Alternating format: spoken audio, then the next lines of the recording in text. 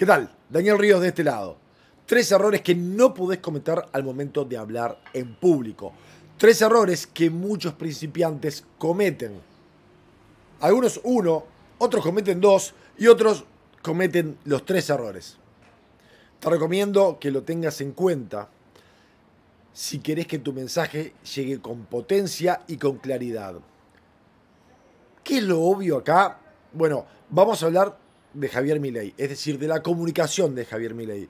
Así que cuando hablamos de Tolosa Paz, no hablamos de Tolosa Paz, hablamos de la comunicación de Tolosa Paz. En este caso es Milei. Pero vamos a darle vuelta al asunto. No te voy a decir los tres errores.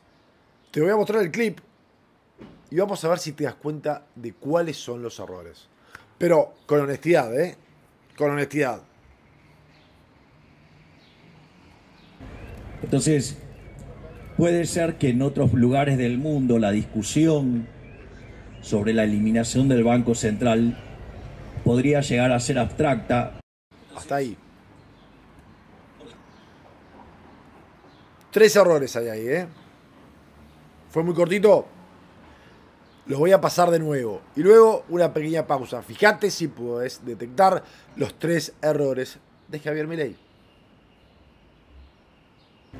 Entonces, puede ser que en otros lugares del mundo la discusión sobre la eliminación del Banco Central podría llegar a ser abstracta.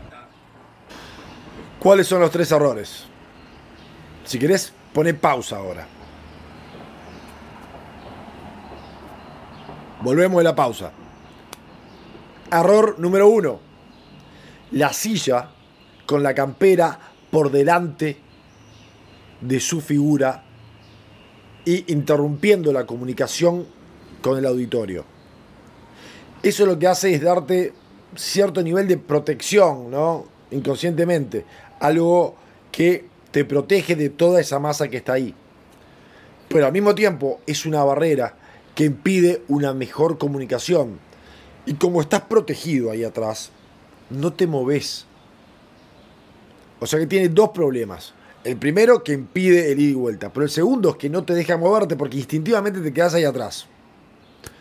Número dos.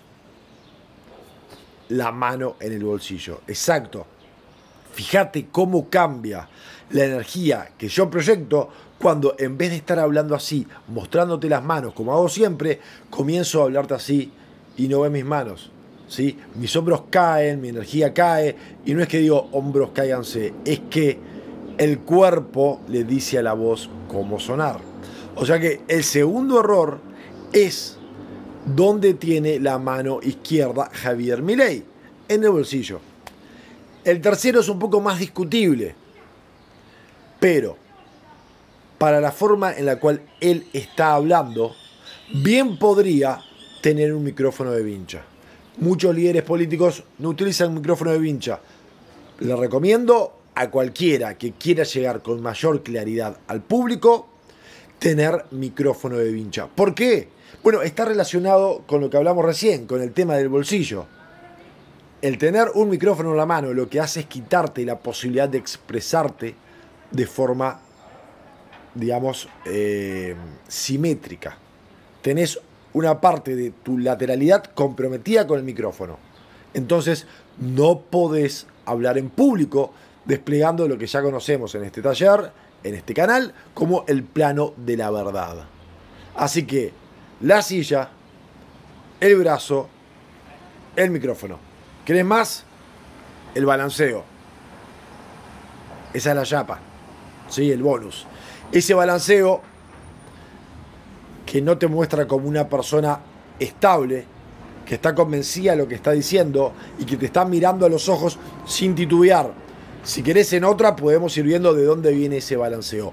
Pero lo importante es que esto no te hace ver bien. Fue 3 por 1, más 1, errores a la hora de comunicar. Si querés avanzar de nivel, no los cometas. Si querés que siga tirando consejos, dale like, suscríbete, compartilo, guardalo, comenta, comenta de comunicación no de Javier Milei. Acá Javier Milei no interesa en el fondo. Es solamente un vehículo que nos relaciona con la mejor comunicación. ¿Te parece? Sigamos hablando. Buena semana.